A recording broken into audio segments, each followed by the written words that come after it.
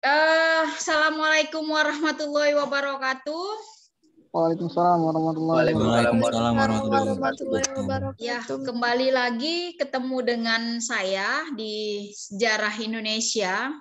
Kita uh, apa ya selalu berdoa, berdoa saja setiap hari semoga ya kita bisa bertatap muka sehingga kalian belajarnya pun bisa lebih fokus, kemudian bisa mendapatkan hasil yang terbaik. Baik, uh, untuk pagi hari ini ya sebelum mulai pembelajaran sejarah, jadi ada baiknya kita berdoa terlebih dahulu ya supaya lebih berkah lagi. Uh, doa dimulai.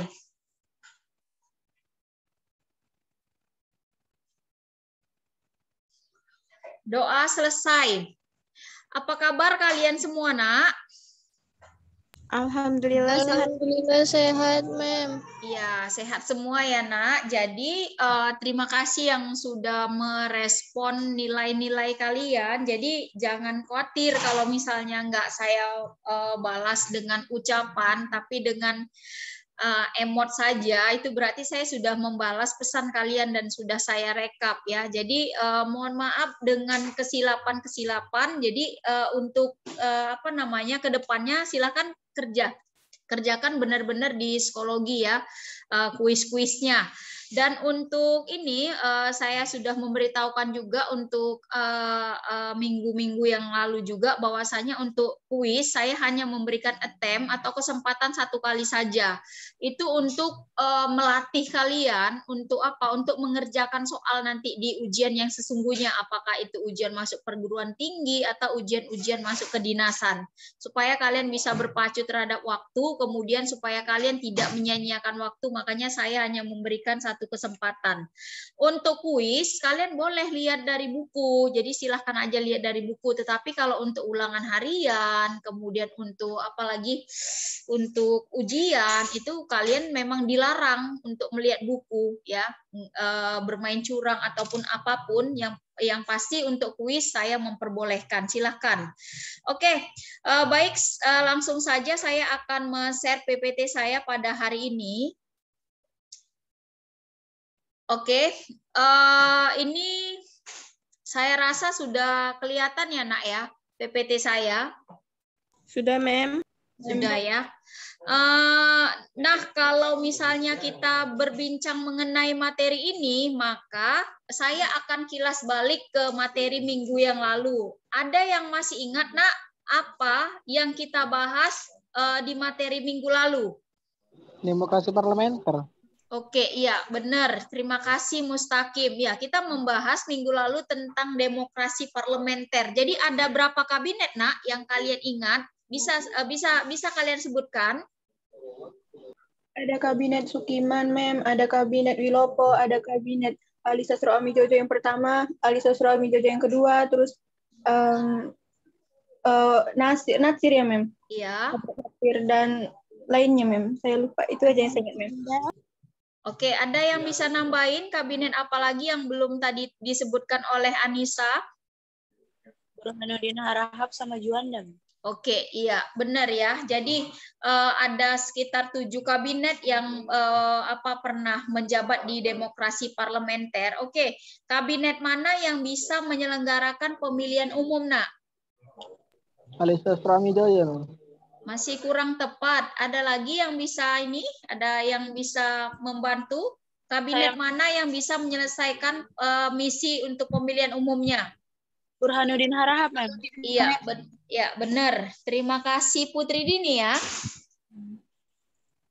Oke, ya kabinet yang bisa uh, menuntaskan tugasnya untuk menyelesaikan pemilihan uh, umum adalah kabinet Burhanuddin Harahap dan kalau kabinet Ali Sastro Amijoyo satu dia bisa menyelesaikan misi apa nak? Yang uh, penting juga. Konferensi Afrika, Mim. Iya, benar. Ya benar, dia bisa menyelenggarakan konferensi Asia Afrika. Namun ya uh, uh, dalam sistem kabinet parlementer itu juga tidak sepenuhnya bisa menyelesaikan tugas dan tanggung jawabnya, program-program kerjanya. Jadi uh, yang membuat nanti uh, kabinet parlementer itu di, dilengserkan ataupun tidak berlaku lagi di Indonesia itu karena tidak menyelesaikan program kerja yang penting, yaitu masalah apa, Nak? Ada yang tahu? Papua, Mem. Gimana? Irian Irian Barat. Gimana? Pembebasan Papua, Mem, Irian Barat. Ya, Iya. benar. Pembebasan Irian Barat atau masalah Irian Barat sehingga ya Presiden Soekarno waktu itu membubarkan kabinet-kabinet tersebut karena dianggap eh, tidak bisa menyelesaikan persoalan yaitu eh, apa namanya masalah Irian Barat. Nah, setelah nanti ya dibubarkan ya kan? Setelah dibubarkan di di apa namanya kabinet parlementer itu nanti ada muncul lagi sebuah kabinet baru. Tapi itu belum kita bahas pada minggu ini. Jadi yang kita bahas pada minggu ini adalah tentang ya sistem kepartaian pada masa demokrasi parlementer. Jadi pada masa demokrasi parlementer itu eh, kita melihat sistem kepartaiannya yang yang mungkin ya bisa eh, apa terjadi pemilihan umum yang pertama sekali di Indonesia. Nah, jadi indikator pembelajaran kita pada pagi hari ini adalah menjelaskan perkembangan sistem kepartaian yang berlaku selama masa demokrasi parlementer. Ini agak apa ya? Bentar ya. Saya eh, eh, rubah warnanya. Bentar ya. Nah, mungkin agak eh, Oh, ini lebih nggak nampak lagi. Bentar ya, nak ya. Kalau ini juga nggak nampak, ini juga nggak nampak, putih juga paling nggak nampak. Ah, inilah yang paling nampak. Oke, jadi indikatornya adalah yang kedua membandingkan sistem kepartaian pada masa demokrasi parlementer dengan sistem pemerintahan pada masa sekarang. Ya, oke itu adalah indikator pembelajaran kita. Nah, eh, bagaimana sejarah dari sistem kepartaian di Indonesia? Jadi sejarah eh, di sistem kepartaian di Indonesia itu eh, apa dia mengalami banyak perbedaan-perbedaan. Kalau dilihat secara kesejarahannya. Nah, jadi eh, bisa kita lihat perbedaan-perbedaannya nanti ya bisa diakibatkan oleh perbedaan tipikal yaitu di mana sistem politik yang berlaku di Indonesia secara bergantian gitu. Kemudian sistem politik yang ada di Indonesia itu me- mengalami eh, suatu perubahan terus berubah dia. Eh, di mana nanti yang mengakibat eh, apa namanya penyebab dari perubahan tersebut adalah sistem politik yang yang apa yang berlaku di Indonesia. Sebut saja nanti sistem politik pada masa demokrasi liberal, ya kan? Kemudian nanti kita bisa lihat di rejim politik otoritarian yaitu yang yang berlaku di masa Orde Lama. Jadi sistem politik otoritarian ini adalah sistem yang berlaku di Orde Lama. Dan nanti ketika kita eh, membahas tentang sistem eh, politik di masa Orde Baru ya sampai nanti saat ini di mana semua sistem eh, sejarah dari sistem-sistem kepartaian itu itu selalu berubah-ubah tergantung dari siapa pemimpinnya tergantung dari siapa eh, penguasanya. Nah kalau misalnya sistem kepartaian di Indonesia waktu eh, apa namanya Soekarno menjabat menjadi apa namanya presiden waktu itu dia membebaskan siapa saja ya. Oh siapa saja orang, siapa saja kelompok itu bisa membentuk sebuah partai politik untuk menginspirasikan eh, apa namanya eh, eh, tujuan-tujuannya untuk membangun negara Republik Indonesia. Itu terjadi hal-hal hal yang wajar saja. Kenapa? Karena memang eh, sebelumnya masyarakat Indonesia itu terbelenggu, terkekang dengan yang namanya penjajahan. Maka ketika merdeka, ini adalah apa nama hiporia kebebasan mereka tertuangkan dalam bentuk apa pe, eh, apa namanya pendirian partai-partai politik. Itu terjadi ya. Oke. Kemudian ya kita bisa lihat nanti ada empat partai yang yang yang pada saat itu memegang peranan penting dan mempunyai masa terbanyak. Dan bisa dibilang ya dia menang di dalam setiap kali pengunggulan jumlah-jumlah suara. Artinya apa? Artinya walaupun pada saat itu belum ada pemilihan umum, tapi kita bisa lihat bahwasannya dia bisa menang karena apa? Jumlah masanya yang banyak. Nah, kita bisa lihat pada saat itu ya uh, di uh, 1955 itu yang menang pemilu itu yang pertama nanti adalah Partai Nasional Indonesia. Nah, dengan uh, uh, apa jumlah perolehan suaranya itu sekitar 22,3 persen. Kemudian disusul oleh Mas Yumi, NU, Partai Komunis Indonesia ya. Di mana nanti kalian bisa lihat nih sampai dengan saat ini sampai dengan saat ini uh, sebentar ya nak ya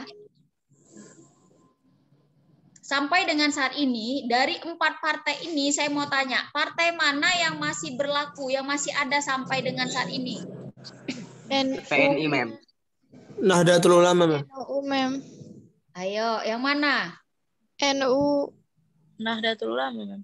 Nah, sebenarnya ya, sebenarnya partai-partai ini, nama-nama partai-partai ini itu sudah nggak ada lagi. Misalnya PNI kan udah nggak ada lagi. Hanya saja dia sudah bermetamorfosis, dia sudah berubah nama.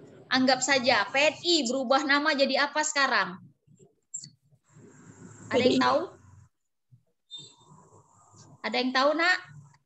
PDI bukan Iya, benar. Ya PNI, perubahan dari apa? Dari eh, ataupun difusi dari partai eh, eh, PNI itu kemudian larinya ke PDI, kemudian Masyumi, Nahdlatul Umam, Ulama itu eh, PKB seperti itu. Nah, jadi eh, eh, yang ber, yang berbeda adalah PKI. PKI sama sekali nggak nggak diperbolehkan ya sel- eh, setelah eh, apa namanya setelah orde lama itu PKI itu memang eh, di, di benar-benar ditanam, dikubur hidup-hidup dia. Nah, maksud dari dikubur hidup-hidup kalian tahu kan? Nah, maksud dari dikubur hidup-hidup itu pendukungnya masih banyak loh gitu. Pendukungnya masih banyak tapi dibenam ya dengan pendukungnya udah nggak ada lagi. Eh, PKI itu udah nggak ada lagi. Maka ya kalau sekarang banyak orang-orang yang yang yang kita dengar isu-isunya PKI mulai bangkit lagi ya itu mu- mungkin mayat-mayat hidupnya gitu dia, mayat-mayat hidupnya dan itu memang masih menggerogotin kita dengan eh, sistem komunisnya. Oke, jadi ini adalah empat partai terbesar dan eh, kalian nggak boleh ini nggak boleh eh, apa namanya pandang sebelah mata dengan Partai Komunis di eh, Indonesia karena apa? Itu masanya pun juga luar biasa banyaknya. Nah, jadi makanya pada saat itu bisa kita lihat Partai Komunis itu bisa mengadakan sebuah kudeta yang sangat besar di 1965 karena memang mempunyai masa yang sangat banyak. Nah, ini ya, ini adalah empat partai yang terbesar. Kemudian kalian bisa lihat nih bagaimana tadi ya ketika kita berbicara mengenai sistem kepartaian di Indonesia. Nah, setiap partai-partai itu nanti eh, masih sama sih eh, tetap me- apa namanya mengusulkan tokoh-tokoh dari partai tersebut untuk menjabat di sebuah eh, apa namanya pemerintahan. Seperti nanti kita sebut saja di Masyumi itu nanti ada siapa? Contohnya misalnya ada Natsir. Kemudian di di Partai PNI itu ada siapa? Misalnya ada Amir Saripudin, eh, enggak PKI ada di Amir Saripudin seperti itu. Jadi tokoh-tokoh yang di, diunggulkan itu itulah nanti yang dimajukan menjadi perdana menteri. Nah, hampir sama seperti yang saat ini. Tokoh-tokoh yang yang menjadi eh, panutan, dianggap panutan itu dijadikan apa? Dijadikan orang-orang yang memimpin di sebuah pemerintahan seperti itu, orang-orang yang diusulkan untuk menjabat di sebuah pemerintahan. Nah, jadi ketika kita berbicara mengenai sistem kepartaian di Indonesia, ketika kita sudah membahas tentang pemilu yang pertama kali pernah dilaksanakan di Indonesia, nah secara nggak langsung kita sudah menerapkan politik bebas aktif yaitu apa? Bebas memilih dari negara-negara mana saja yang yang mau menjadi teman kita ya kan? Kemudian aktif dalam kancah perpolitikan termasuk aktif dalam perpolitikan di negara sendiri ya. Termasuk di Indonesia. Dengan apa? Menyelenggarakan pemilu.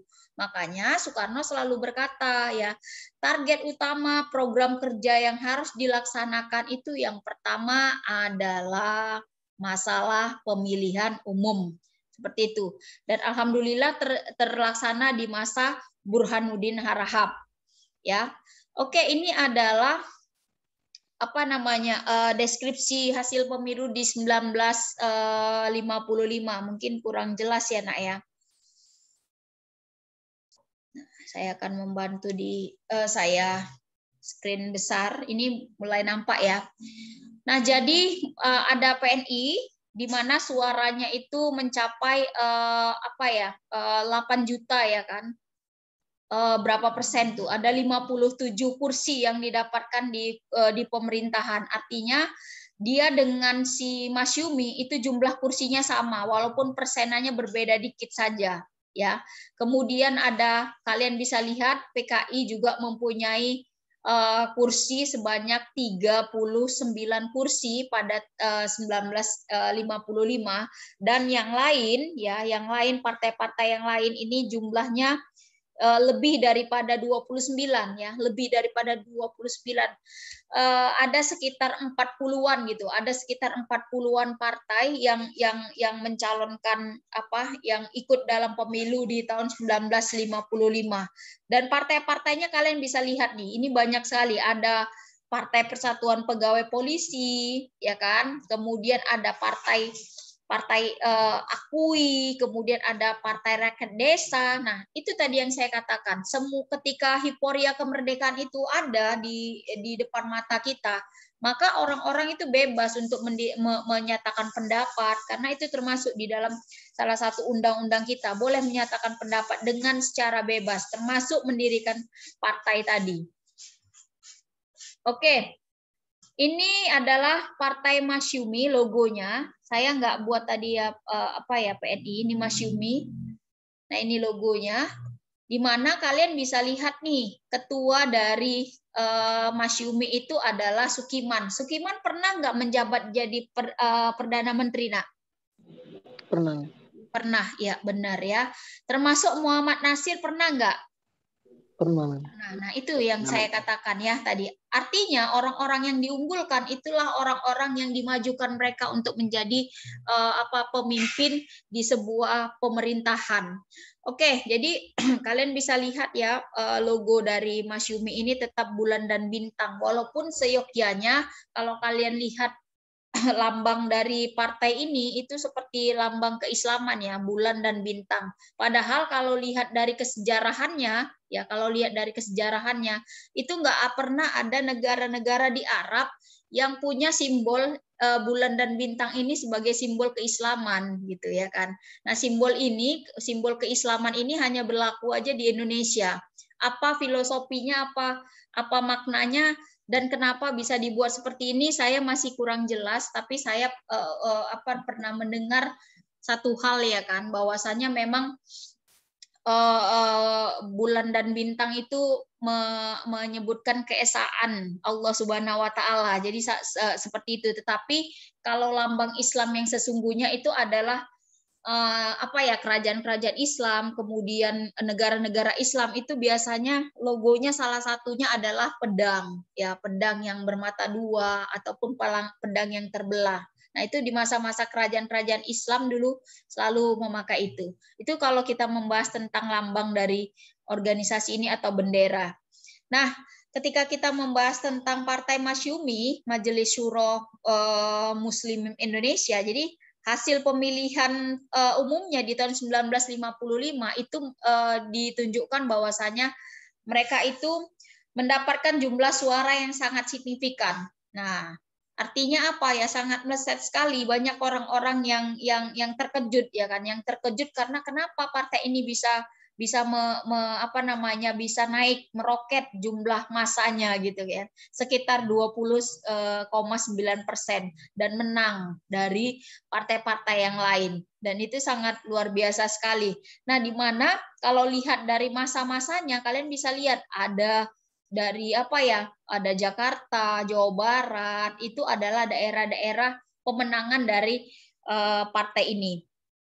Oke, itu tentang uh, Mas Yumi. Nah, kemudian kalian bisa lihat ya, ini ketika Soekarno ya uh, apa berpidato di acara apa namanya uh, seperti apa ya sebuah kampanye gitu pada saat itu. Nah, dia didatangkan dari partai uh, Mas Yumi untuk memberikan pidatonya. Kalian lihat masanya itu banyak sekali. Artinya memang benar gitu. Orang antusias terhadap partai ini itu luar biasa ya karena apa karena uh, uh, apa namanya Mas Yumi ini adalah sebuah partai yang yang mempunyai lembaga penasihat yang berperan untuk memberikan nasihat dan fatwa itu terhadap masyarakat itu luar biasa sekali. Nah, itu dia. Nah, ini PNI, ini lambangnya. Makanya tadi saya katakan PNI itu adalah fusi dari uh, partai PDI. PDIP, PDI, kemudian PDP, PDIP yang saat ini. Nah, itu uh, ketuanya sendiri adalah Soekarno, ya kan? dan sekarang diteruskan sepertinya partai ini menjadi partai yang sifatnya untuk keturunan ya kan Soekarno, kemudian nanti ada si Megawati, kemudian nanti sampai ini nanti mungkin di bawah Megawati ada untuk anak Megawati, Ibu Puan Maharani mungkin. Nah, ini ya. Oke, juga ini sama, juga masanya juga banyak. Ini gambarnya sebenarnya sama. Ini adalah ilustrasi saja yang merupakan uh, partai terbesar. Ini NU, Nahdlatul Ulama sampai dengan saat ini masih ada ya NU NU bahkan universitasnya juga itu besar sekali. Oke. Nah, ini PKI saya uh, gam, uh, logonya logo Arit ya. Oke. Ini adalah tentang uh, apa namanya partai-partai uh, yang ada uh, di tahun 1955 atau yang menjadi pemenang di di apa namanya di pemilihan umum 1965. Oke, dari sini ada pertanyaan, Nak. Silakan. Tentang partai sistem kepartaian di Indonesia ada Baik, uh, kalau tidak ada ya karena uh, memang waktunya sudah selesai, saya sudahin saja pertemuan kita pada hari ini. Terima kasih atas perhatiannya ya. Saya ucapkan alhamdulillah dan assalamualaikum warahmatullahi wabarakatuh. Waalaikumsalam warahmatullahi wabarakatuh. Waalaikumsalam warahmatullahi wabarakatuh.